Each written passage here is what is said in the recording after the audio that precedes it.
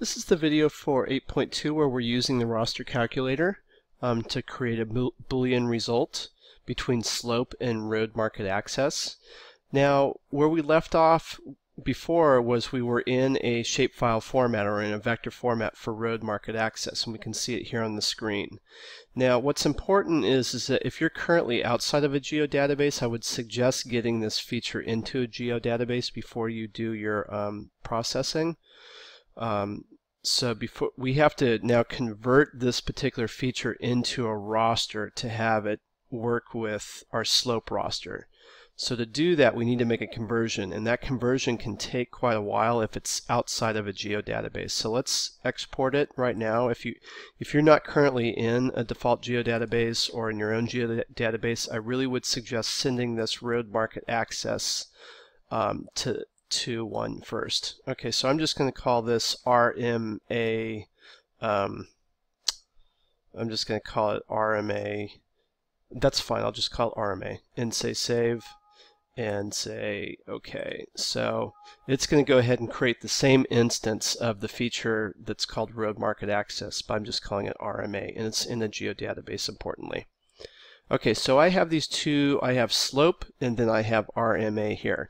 And what we're trying to do is we're trying to find the areas that are within road market access because we consider those to be suitable areas. And then we need to go into our raster for slope and pick out just the yellows. Those are the ones between 2 and 7 um, in terms of slope. So we need to get those two characteristics into a raster format. And to do that, what we're going to do is first uh, convert to raster, our RMA, and then we'll get into the raster calculator.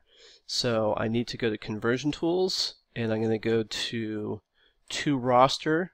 I'm going to be feature to raster, and my input here is going to be RMA. Um, the field would be a FID or object FID. Now, we're going to send it to the default geodatabase, and I'm going to call it, um, I think the name is Access. The book wants us to call it Access Raster. So let's call it Access. I'm just going to call it AR for Access Raster. So the output cell size is going to be 90. We know we know that our slope is 90 uh, the cell size is 90 um, meters. So we're going to have that same cell size. It's important when we're doing any calculations between rasters that we have the same cell size between all rasters. So we know it's 90. Let's just go ahead and type in 90. That'll also speed up processing if we know exactly what it is, and we'll say OK.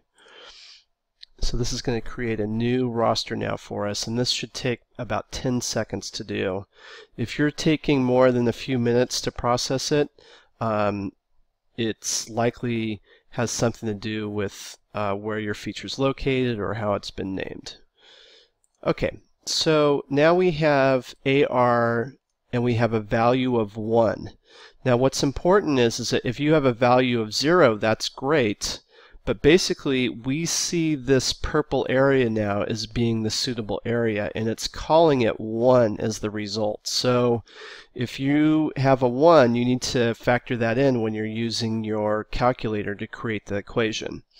So let's get into, um, and, and again, the book calls for 0. So if you're not in 0, if you're in 1, you've got to make sure you're using 1 instead of, as the book suggests, using 0.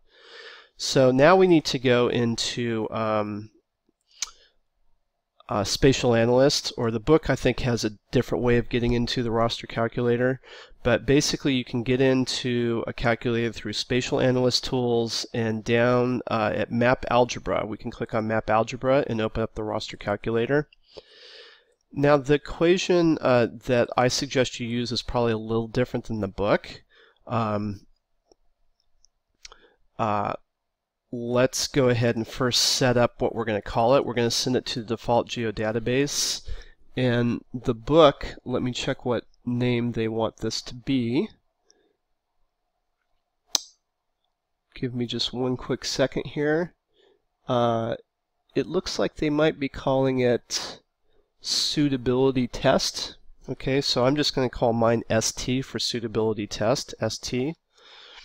And what we're going to do here is set up the equation. Remember, this is AR, is the, the access um, raster in the equation in the book. So I'm going to click on that.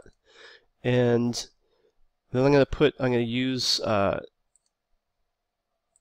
some uh, containers here. So I'm going to say this now equals, whoop, I got this wrong. Bear with me here. A, AR equals 0, or actually not 0, in my case it's going to be 1, so purple's 1, that's what I want. And then to enclose him, and then I need to also be that particular value, plus I need slope. Okay, slope, double click on slope, is going to be greater than or equal to 2. And then we'll enclose that and then we're going to say we're to say plus. Uh, actually, it's not plus, it's and, I believe. Hang on one second. Yeah, it's and. I need to go back and change those to and. Okay, so here it's going to be and, and here it's going to be and. So now slope, I'm going to put slope back in, and this is going to be slope is less than or equal to 7. And I'm going to enclose that and I'm going to send it to default, default geodatabase and call it ST. This looks to me like it should run okay, and we say OK. This will take a second to do the calculation, and then we'll take a look at the result once it's done. Okay, that took a few moments to process. Now let's take a look at what we have back now. Um, so we want to think about this logically. So we have slope, and we also have um, our input for road market access. Let's zoom into our result. Let's zoom into this area right over here and think about what we have back. So here, um, our zero value, we're calling that an unsuitable value. Okay, so that's going to fall if we look at our result. If we click on and off of it, we can see here the purple zero is within road market access, which is great, but it's at a slope that's smaller than 2. So it's going to be unsuitable and thus 0. Whereas if we come over here, we can see that we're within road market access in the green area, which is my 1 value. That corresponds with slope between 2 and 7, which is yellow. So if we click on and off that, we can see that. So visually, make sure that you check your results before you proceed, just to um, see if you're actually getting um, uh, the correct result that you expect. And in this case, we're really interested in the value of 1. So what you're going to do from here is you're now going to send this to a polygon format and continue apace in the assignment. So um, the next step here will just be to continue in, in exercise 8.2 um, where you're going to just be working with the grid code in the shapefile result result of, in my case, it's 1 here. It's the green area.